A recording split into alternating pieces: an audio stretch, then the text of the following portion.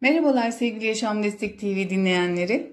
Öncelikle sizlere çok çok teşekkür ediyorum. Her geçen gün abonelerim artıyor. Beni artık ailenizden biri olarak ve ablanız, anneniz, kardeşiniz olarak benimsemişsiniz. Ben bunu e, görünce çok mutlu oluyorum. Hiç söylememe gerek yok. E, Instagram'dan da beni buldular birçok e, dinleyicim. E, ve oradan da e, istedikleri soruları bana sorabiliyorlar. Ben de onlara böyle karşılıklı güzel bilgi alışverişlerinde bulunuyoruz. Yine bana gelen e, en çok sorulardan bir tanesi de kabızlıkla ilgili, bebeklerdeki kabızlıkla ilgili. Ee, bunu öncesinde hiç ilk oğlumda ben hiç yaşamadığım için ben biliyorsunuz e, beni dinleyenler bilir hep yaşadığım şeyleri birebir anlatmaya çalışıyorum. Ee, dolayısıyla bilmediğim, görmediğim, hani uygulamadığım bir şeyi de asla kimseye tavsiye etmiyorum. Dolayısıyla şimdi benim ikinci bir evladım oldu. 4 aylık Allah bağışlasın bütün hepimizin evlatlarını. Ee, ve birkaç gün önce bu kabızlık olayıyla ben de karşı karşıya geldim. Aslında benim yaşadığım birebir kabızlık değildi ama bu konuyla ilgili de birçok bilgi edindim. Doktoruma danıştım. İşte görüşlerini e, beğendiğim insanlarla görüştüm. E, ve bu konularla ilgili size bir e, küçük bir bilgilendirme videosu çekmeye karar verdim. E, şöyle ki sevgili dinleyenler ilk önce kabızlıkla yani yeni doğan kabızlığıyla normal e, bir kabızlığın ayrılması gerektiğinin altını çizmek istiyorum. Yeni doğan bebeklerde özellikle ilk günden itibaren yani doğduktan e, işte 24 saat 48 saat arasında hani bir kaka yapması beklenir ya bebeklerin siyah e, olan kakasını. E, eğer onu geciktiriyorsa ve yardım almadan yapamadıysa bebeğimiz mutlaka ve mutlaka gerçekten çok ciddi bir şekilde doktor kontrolünü götürmemiz gerekiyor. Çünkü ilk günden itibaren kabızlık sorunu yaşayan bebeklerde büyük ihtimalle e, bağırsaklarında kalın bağırsaklarında problem oluyor. Kalın bağırsakların uç kısmındaki sinirler e, orada e, nasıl söyleyeyim canlı olmadığından dolayı bir baskı uygulamıyor. Bu baskı yani e, şöyle söyleyeyim gevşeyip tekrar hani böyle ıkınma vesaire oluyor ya bebeklerde. Onları yapamadığından dolayı orada birikiyor kakası ve ondan sonra da bir yardım almadan orası uyarılmadan maalesef ki kakasını yapamıyor. Bu artık günümüzde hani bu tarz yaşayan bu tarz sorunları yaşayan bebekler e, olduğunda çok kolay bir ameliyatla e, birazcık bir e, narkoz vererek e, uygulanan bir ameliyat da yapılabiliyormuş bu ameliyatlar ve çok basitmiş artık. Eskiden hani bu konular daha zordu tabii ama tıp ilerledi.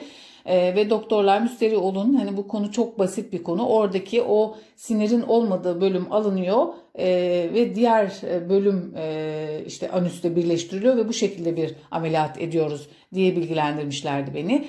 E, ama şükürler olsun ki hani ben e, 4 aylık bebeğim e, şu ana kadar öyle bir sorun yaşamadım. Ama benim kızım 5 gün kakasını yapmadı.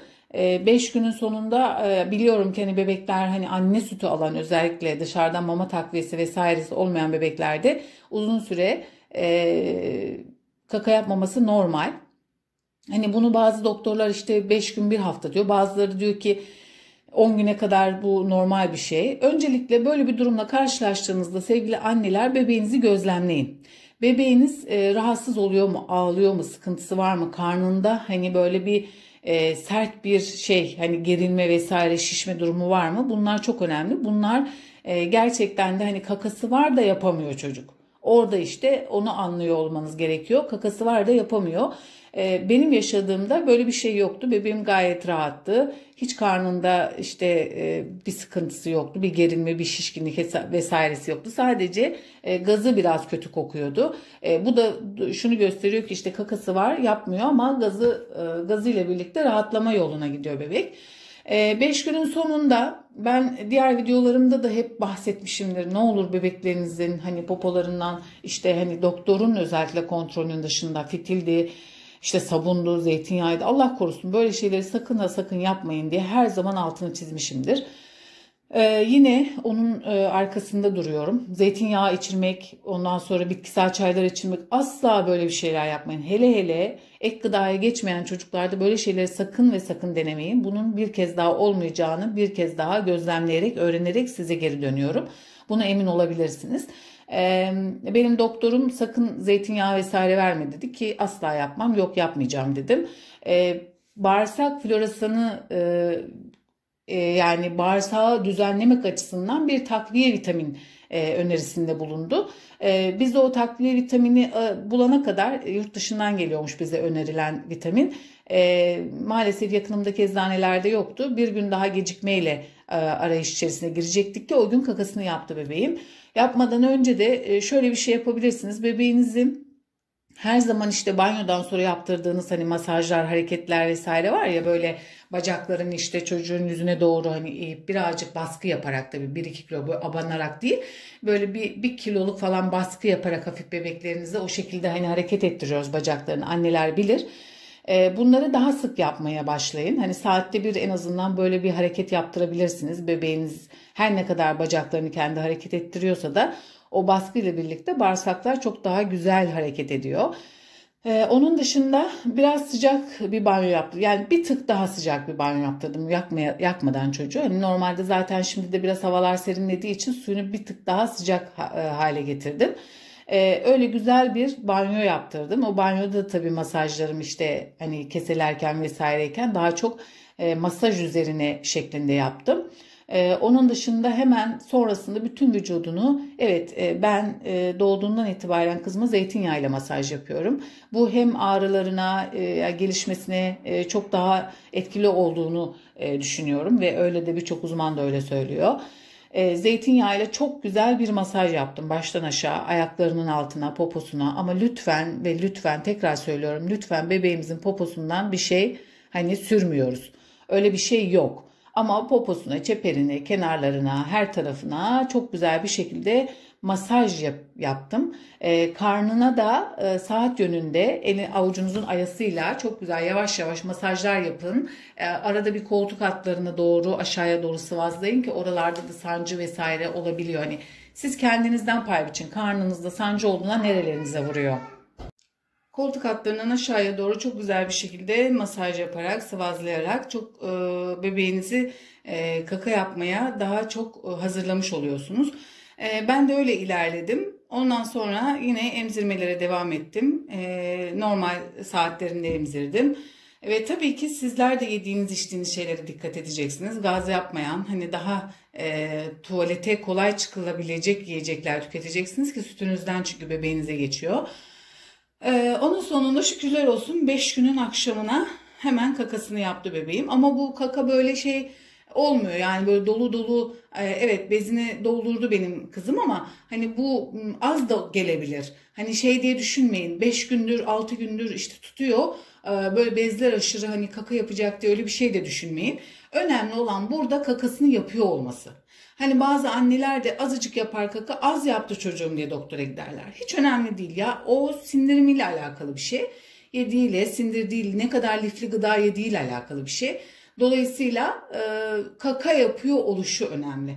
Ama hani kabızlık bizimkisi e, kabızlık değildi. Bizimkisi olabilecek bir e, rutin bir olaydı aslında.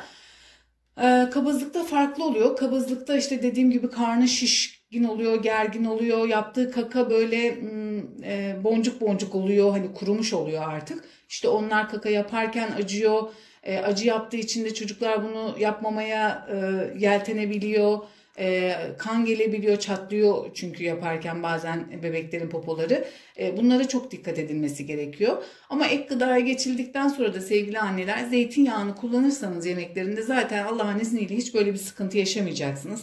Eğer bebeğinizde başka fizyolojik bir olay yoksa. Ee, yani yemeklerden kaynaklanan bir e, kabızlık yaşamazsınız. Size tavsiyem e, çorbayla başlayacağım. Ben şimdi 5 e, ayını doldurduktan sonra 6 ayına yaklaşırken yavaş yavaş işte böyle çay kaşığıyla vesaire sebze çorbalarıyla başlayacağım. O çorbalarda da size önerim bu çok önemli bir şey. Lütfen blenderdan geçirmeyin çorbaları. Elinizden geldiği kadar çok iyi pişirin. Ondan sonra da çatalın arkasıyla ezin. Çok iyi bir şekilde ezdikten sonra bebeğinize verin. E, çünkü blenderdan geçirildiği zaman çok fazla parçalanıyor ve lif oranı azalıyor. Bu da bebeğimizin e, tabii ki hani bağırsak durumunu da etkiliyor. E, ve yemekleri sonradan ısıttınız. Mesela hani bir iki gün iki gün kullanıyoruz ya biz o yemekleri. Onu e, ısıttıktan sonra ya da vereceğiniz zaman işte bir tatlı kaşığı e, zeytinyağı koyarsanız içine o zaman çok daha e, faydalı olacaktır. Zeytinyağını lütfen önceden koyup sonra ısıtmayın. Çünkü o da özelliğini kaybediyor. Ee, onun dışında önerim sizlere e, ek gıdaya başlarken ben zaten böyle bir video yapmıştım. Onu da dinleyebilirsiniz. Ek gıdaya başlarken sebzelerle başlayacaksınız. Azar azar vereceksiniz. Anne sütüne tekrar devam edeceksiniz.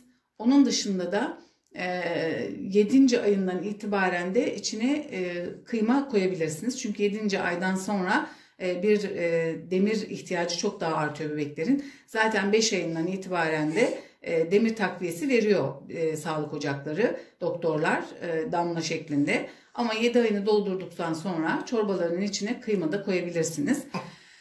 Ee, size önerim e, tekrar söylüyorum e, se, yani mevsiminde mi sebzeleri lütfen e, bebeğinize yedirmeye çalışın. Şimdi mesela kış ayındayız. Hani kış ayına uygun sebzeler vereceğim bebeğime. Yaz olsaydı yaz ayına uygun sebzeler verecektim.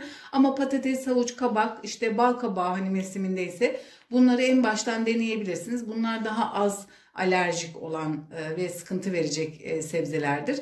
E, bunları denedikten sonra bir, bir ay sonrasına kadar işte armutlu, elmaydı bunları da püre haline getirip verebilirsiniz bebeğinize.